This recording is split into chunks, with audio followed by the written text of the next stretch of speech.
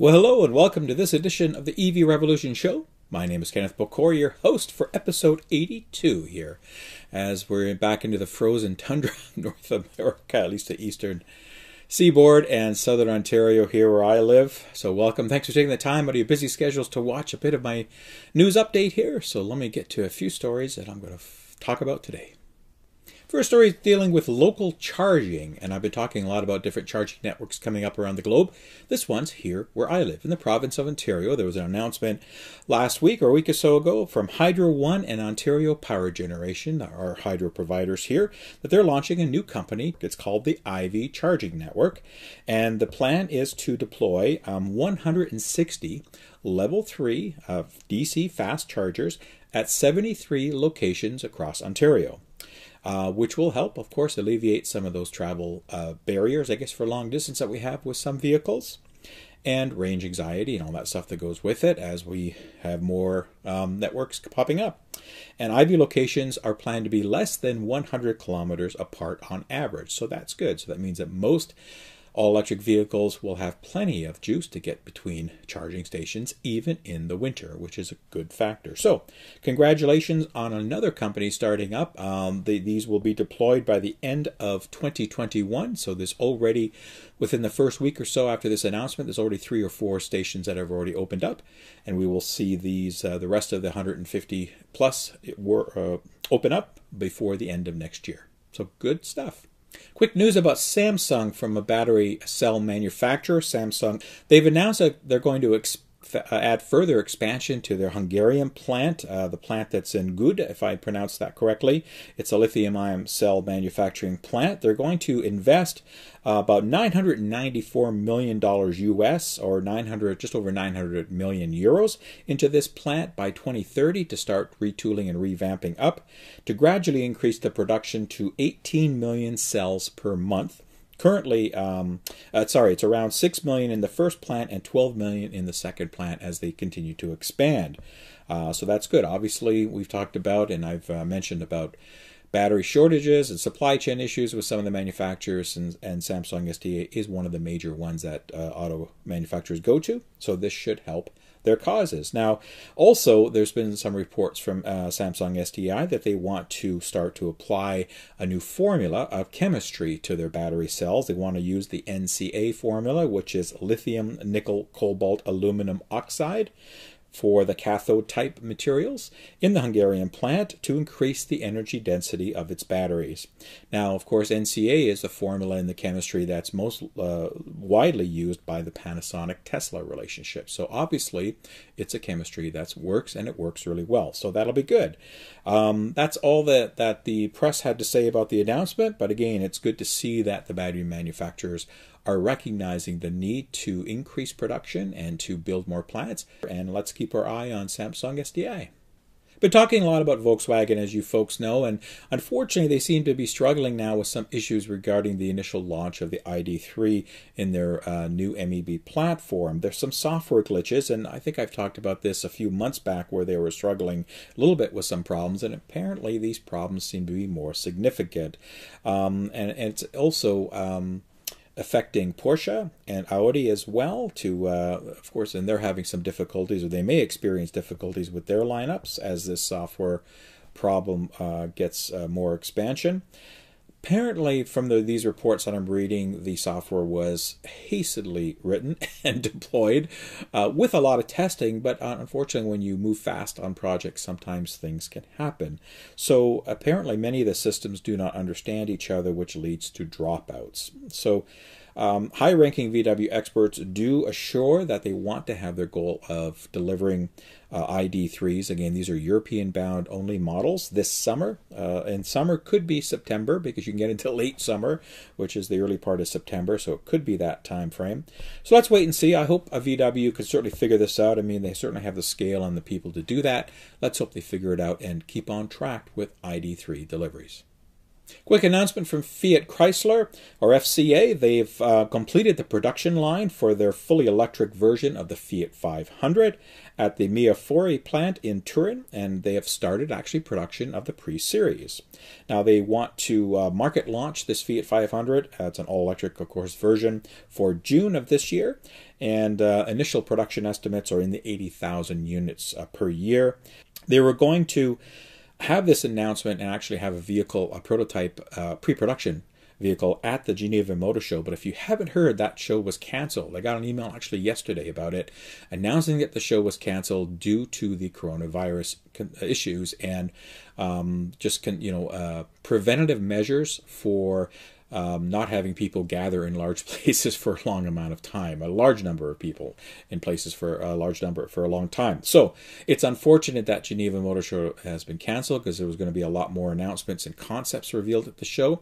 But it's understandable with what's going on now. Again, just remember, folks, as well um, I was talking to somebody the other day about you know the impact potential impacts on coronavirus, and we're already seeing it in the stock market and and some of the financials around the world that things are looking pretty gloomy, that things are going down into the red, and that there will be manufacturing delays not only in the tech sector, uh, sector but certainly in the automotive sector. And I do anticipate this to hit battery electric and the EV marketplaces as well as a lot of components and um, supply chain comes from countries that are being impacted by this uh, this outbreak, which um, isn't still as serious as it could be, but but I think if people are erring on the side of caution, so I wouldn't be surprised to see a lot a lot of uh, manufacturers come into delay aspects, especially those that do manufacture out of North America. We'll have to wait and see how that impacts, but and I wouldn't be surprised to see uh, if we see more overseas auto shows canceled as well. Uh, so stay tuned for that. Now, Renault has officially confirmed that their first electric model that they're going to build uh, from for its Romanian subsidiary Dacia will come out within the next two years. So they seem to be a little late, but they're at least getting there uh, eventually. Um, it's going to be a modified version of the Renault City K-ZE electric com compact car that's offered in China for the European market. Uh, they're going to dub it the Dacia Urban City Car. Uh, be all electric vehicle, of course. Not, not not a lot of details given, other than that they expect this to hit Europe uh, next year in 2021 and be available onwards. Should have a WLTP range of about 250 kilometers. Uh, which is okay. Again, we know real world or EPA will probably be closer to 200 or so, but for a small uh, compact and subcompact vehicle, that's actually plenty for getting a zipping around town, of course. Now, the key here that caught my eye is the price point. It's going to cost around 15,000 euros, including the battery.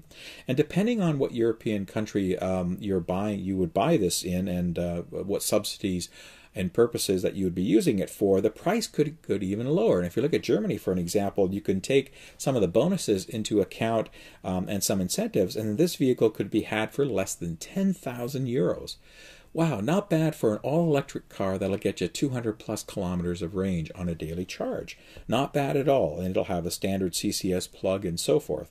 So I'm glad to see the pricing really starting to come down to the mass market that I see. That that 20k sub 20k is a great great price point, even for small subcompact cars. It looks decent. So let's wait and see what happens.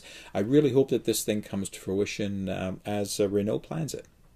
Now, a vehicle that caught my eye this week, and I was I was kind of thinking, should I report on it, should I not? But you know, it does fall into the EV landscape, uh, even though it's a little bit kind of in a weird area. It's the Citroën uh, unveiled their new um, all-electric two-seat production vehicle. It's called the Citroën Ami. Based on the Ami 1 concept, it was created for the 100th anniversary of the brand. Now, it's classified kind of as a car but not a car because it's a it's really more of a low speed passenger vehicle. And I know in the US and Canada there are actually certain designations for low speed passenger vehicles uh, that prohibit their use and and you know uh, number of occupants and where you can drive them and all this kind of stuff. So this seems to be something similar but uh, with the caveat that you can still uh, drive this on public roads uh, in Europe without a driver's license. You just have to be over 14 years in France or 16 uh, over the age of 16 in the other uh, in the average European countries. So without a driver's license and you're 16, you can drive one of these. It's got a 6 kilowatt electric motor and a 5.5 kilowatt hour battery pack. Doesn't sound like a lot, I know, but it's perfect for city centers where you just kind of need a zip car type concept where you want to zip around and uh, do some tasks. It can, uh, on a single charge, get you up to about 70 kilometers or about 43 and a half miles in all electric. Now, price point on these things is going to be really, really low. They're talking about uh, $6,900 euro or 7500 bucks uh, 7500 US including VAT uh, and that's before any incentives that it may qualify for. You could you could even rent these. The plans for a long-term rental $19.99 euro per month um, so you rent to use kind of thing. So pretty cool concept. I get it. You know, it's great to as a city uh, urban runabout, kind of like a zip car. You know, with a top speed of up to 45 kilometers per hour. So definitely not going to see these on the highways, but on city streets it'll be great. And charging time only takes three hours, and that's from a standard uh, electrical socket. So certainly something that I could see car sharers pick up on massively and switch fleets over into something like this because of the total cost of ownership will be much better for those. So stay tuned for that. If anybody has more information or you you start seeing some of these out uh, drive around maybe in practice mode, experimental mode, or uh, whatever in in road testing, let me know. I'd love to hear from you. This is a cool looking thing. Now, lastly, I have an email that I received for mailbag from a viewer named Johan. Johan, thank you very much for sending me this. It just basically talked about that he likes the show. He's been watching me for quite a long time and finds uh, finds me informative and uh, and helps him sleep sometimes. No, I'm just kidding about that. But hopefully, worst case is maybe I can help you fall asleep fairly quickly if you put me on, so that's okay. But he sent me this uh, this video file of this Tesla Model S conversion. It's a hearse, as you can see in the video footage here. Um, it, hey, you know why not? I mean, you can you can take something and modify it for anything. And I think their tagline for this company is "From ashes to ashes and dust to dust." You know, it's a non-exhaust way to to the last resting place on this green planet. So certainly fitting for that. So thanks, Johan, for being on the lookout and sending me this video. It's always cool to see what people can think of. All right, and that's it for this edition of the EV Revolution Show, episode 82. Thank you very much for taking the time to tune in. Always appreciate you uh, watching. Uh, if you feel like liking, great. Uh, certainly hope you will subscribe to the channel. That's very important uh, from a YouTube metric to have subscribers. And uh, I continue to experience growth, which is great. And uh, I have a lot of viewers watching, so if you would take a, a second and subscribe, I, you won't get a ton of messaging from me on that, just a standard YouTube stuff. But thank you very much for those who do comment. Uh, very active and good comments all around, and I appreciate the feedback. Again, if you're not aware, uh, I also want to thank my Patreon supporters. I'm always humbled by them. If you're interested in helping me out, even a buck a month if you'd like, or a cup of coffee a month, or whatever you'd like to help support me in my endeavors to continue on with the show and the things that I do and the plans and, and you know the trips that I take and things like that to continue to provide coverage, that would be much appreciated. Um, now, there's no more stuff to announce as far as any events in the upcoming future. So I do want to again want to encourage everybody who is into the electric vehicle marketplace or wants to learn more, look around for your local club or organization. I'm sure you may have one in where you live that you can get more information and even join and go out there and help spread the EV message. So on that note, I want to again thank everybody for watching. Please, everybody stay safe and I will see you when I see you the next time. Take care. Bye bye.